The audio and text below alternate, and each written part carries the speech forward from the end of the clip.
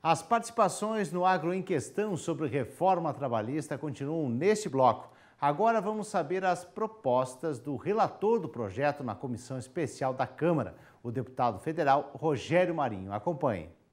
A CLT, na sua concepção, é, no seu DNA, estabeleceu uma relação que não cabe mais no, no modelo que o Brasil tem hoje. É, na época, o Brasil era predominantemente composto de pessoas que moravam no campo. O presidente Getúlio, numa visão inclusive de futuro, imaginava a industrialização do nosso país e estabeleceu um modelo de relação no trabalho baseado, sobretudo, no, no empregado de uma fábrica, de um modelo industrial. O tempo passou, as coisas mudaram e, muito recentemente, de forma geométrica. As relações do trabalho são as mais diversas. A especificidade é, das empresas que abrigam é, funcionários e trabalhadores mudam radicalmente de uma para outra, como é também no caso do campo. Um funcionário que trabalha numa empresa em São Paulo tem, tem pouca similaridade com quem trabalha na plantação é, no interior do Brasil. E por isso mesmo esse modelo que trata os desiguais de forma igual, igual é um modelo anacrônico que gera toda sorte de distorção e de contencioso jurídico.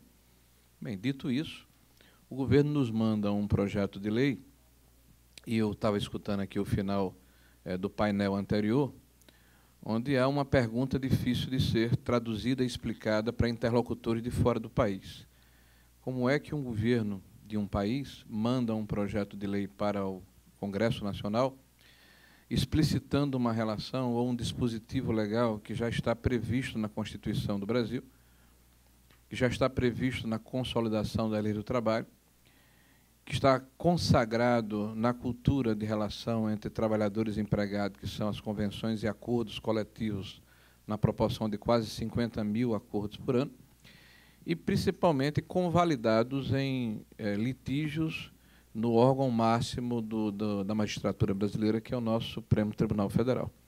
É, no mínimo, difícil de ser explicado a quem de, vem de fora do Brasil de que há necessidade de, ainda assim, assegurar, é, a dar segurança jurídica a um processo é, tão natural, tão bem-vindo, inclusive consagrado é, internacionalmente através de convenções da própria Organização Internacional do Trabalho. Mas assim é o Brasil. Né? E nós estamos é, debruçados sobre um processo cujo cerne, cujo, cuja espinha dorsal é a segurança jurídica, essa, essa relação é, da negociação entre trabalhadores e empregados. Mas, ao contrário da reforma da Previdência, o governo nos manda um projeto de lei tímido. A, a, a reforma da Previdência é um projeto arrojado, seria o projeto, teoricamente, ideal para permitir que o Brasil tivesse futuro. Né? E no caso da reforma trabalhista, foi o possível no processo de negociação que estabeleceu, capitaneado pelo Ministério do Trabalho, entre as centrais sindicais, as centrais patronais e o que havia minimamente de consenso entre elas. Foi o que chegou na Câmara. Além da questão da negociação, há aspectos da jornada, na questão das 220 horas, trabalho parcial, o aumento do, do prazo, desculpe, da hora semanal, e alguma coisa de tra trabalho temporário, que inclusive foi superado recentemente pela votação da 4302 na Câmara Federal. E essa timidez é, nos, nos foi constatada, inclusive, quando na semana passada se exauriu o prazo para apresentação de emendas. Nós tivemos 841 emendas apresentadas contra 139 na reforma da Previdência. 841 emendas significa que há uma demanda reprimida em todas as atividades que fazem o mundo do trabalho no país. E me permitam fazer um cálculo rápido. Eu sou um economista lá do Rio Grande do Norte, ou seja, a minha dimensão e a minha condição certamente são muito menores do que aqueles que me antecederam, mas eu sou um observador do cenário e tenho a responsabilidade de, de tentar traduzir né, e dar argumentos ao que eu vou expor mais adiante, que seria o o resultado do nosso relatório. Nós temos no Brasil 13 milhões de desempregados. Vou colocar o número redondo aqui em função dos dados do CAGED, que é a aferição oficial do governo federal. Agrega aí mais 10 milhões de subtrabalhadores ou de subemprego que o IBGE identificou é, no nosso mercado. São 23 milhões.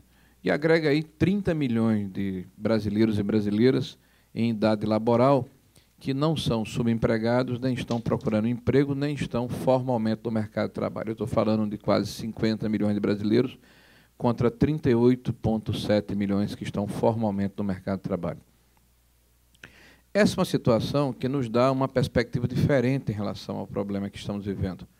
Porque se nos últimos 116 anos eh, de atividade econômica no Brasil, desde 1901, quando se começou oficialmente a se aferir o produto interno bruto no Brasil, nós não temos parâmetro, paralelo, referência de uma crise econômica tão grave, essa crise pode ser o momento de uma inflexão na necessidade de fazermos reformas que foram longamente adiadas.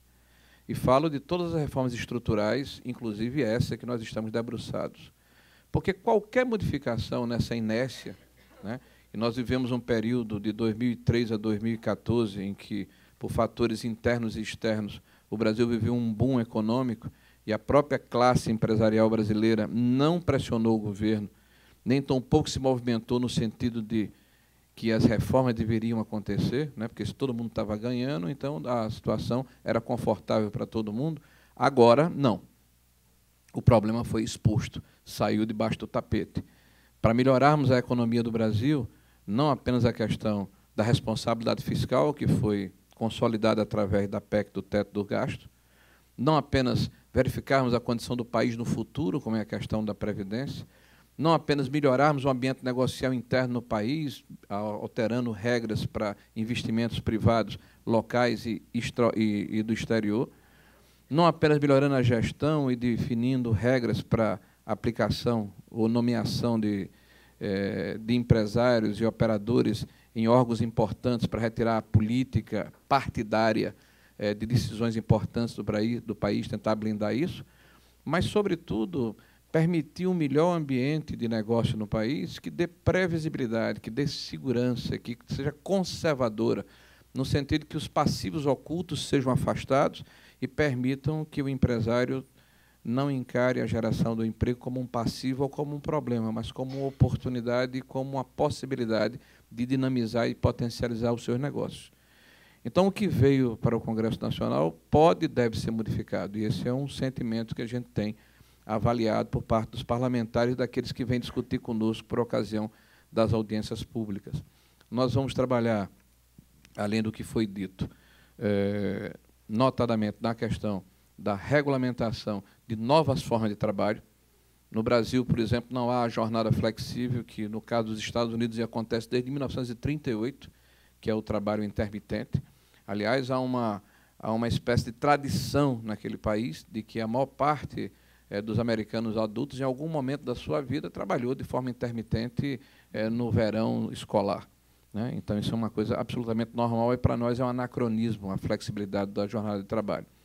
É, o trabalho em casa, o home office, ou ainda o teletrabalho, a questão dos aplicativos de internet, o excesso de judicialização que é feito pelo Judiciário, vocês escutaram aqui anteriormente, o próprio presidente do Tribunal Superior do Trabalho, que além de ser presidente, é um magistrado de carreira, então a sua experiência foi colocada aqui à disposição de todos nós, demonstrando o anacronismo de determinadas posições corporativistas, porque o julgador ele tem o direito de ser um cidadão, mas ele não tem o direito de colocar a sua doutrina e a sua consideração política na hora em que emite um julgamento. Vejam o que aconteceu, por exemplo, recentemente com o Bradesco lá no Rio Grande do Sul, onde o Ministério Público do Trabalho propôs uma ação contra uma única empresa de 8 bilhões de reais pela demissão de dois trabalhadores por assédio moral. A justiça, é, certamente, de uma forma, eu diria, de vendedor de redes, né, diminuiu essa ação e julgou em 800 milhões de reais. Né? Então, isso é encarar o empreendedor como predador. Me desculpe a, a alternância das palavras, a terminologia é diferente, mas me parece que o som é, soa parecido para alguns. Então é importante estabelecer filtros, estabelecer parâmetros. Nós não queremos aqui infringir a lei, não queremos retirar direitos, até porque os direitos dos trabalhadores estão contidos no artigo 7 da Constituição brasileira. Mas precisamos parametrizar essa situação para dar estabilidade, segurança jurídica, clareza nas regras, para evitar as interpretações díspares que ocorrem em todas as instâncias do judiciário, o que gera insegurança jurídica e retração de investimento por parte de quem quer empreender, quem quer investir e quem quer gerar emprego. Porque quem gera emprego não é o governo, não são os deputados, não são os juízes, não são os promotores públicos. Quem gera emprego é quem empreende, é quem se arrisca, é quem coloca a sua cara a tapa e vai ao mercado de trabalho é, tentar edificar, ao invés de ir, por exemplo, para o mercado financeiro, sentar na cadeira e receber os dividendos. Então, há uma possibilidade ímpar, há uma oportunidade única de fazermos uma modernização na nossa legislação. Especificamente em relação à questão rural, eh, existem situações de caráter geral que têm eh, irradiação para o setor rural, né, como, por exemplo, o próprio processo de terceirização, eu estava há pouco discutindo com o presidente Eunício, por isso demorei um pouco a chegar aqui, sobre a discussão do PLC 30 no Senado da República, já que já foi votado o 4302 na Câmara. E a possibilidade de compatibilizar os dois projetos e, eventualmente, agasalhar na nossa relatoria algumas modificações.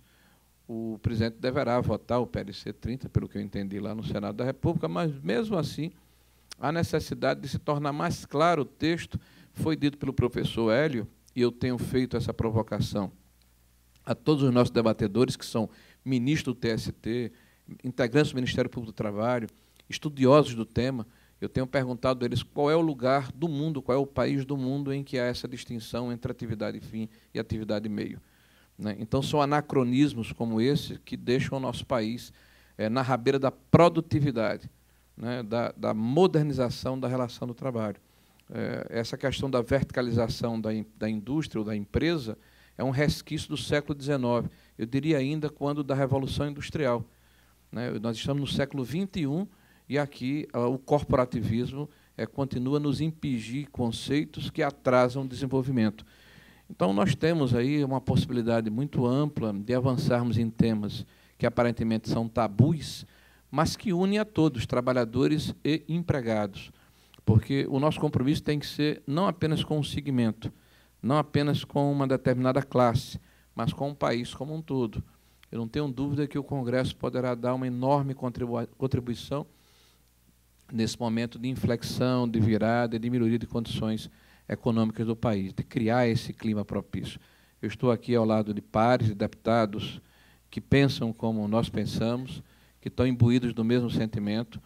É importante que é, quem está do outro lado do balcão ou que está em uma outra posição possa compartilhar conosco esses momentos, porque há muita desinformação, há muita vontade deliberada de passar uma mensagem truncada para a população do país, inclusive a questão da defesa dos direitos essenciais do trabalhador brasileiro. Não é possível, numa lei ordinária, que nós possamos mexer com isso, mesmo que tivéssemos a vontade, que não é o caso. Até porque isso é uma questão da Constituição. Agora, é importante que o empresariado brasileiro, inclusive do setor rural, entenda que não pode ficar apenas assistindo, tem que participar ativamente desse processo, inclusive informando de forma adequada a população de que quem vai ganhar com isso, ao fim e ao cabo, é o trabalhador brasileiro, quando tiver um ambiente mais propício para a retomada do crescimento, para a melhoria das condições de trabalho, para o aumento do, do valor do salário que é pago e para que a economia do país reaja como um todo. Então, muito obrigado. Inicialmente, para as considerações, me atenda ao tempo e com 30 segundos aí de saldo.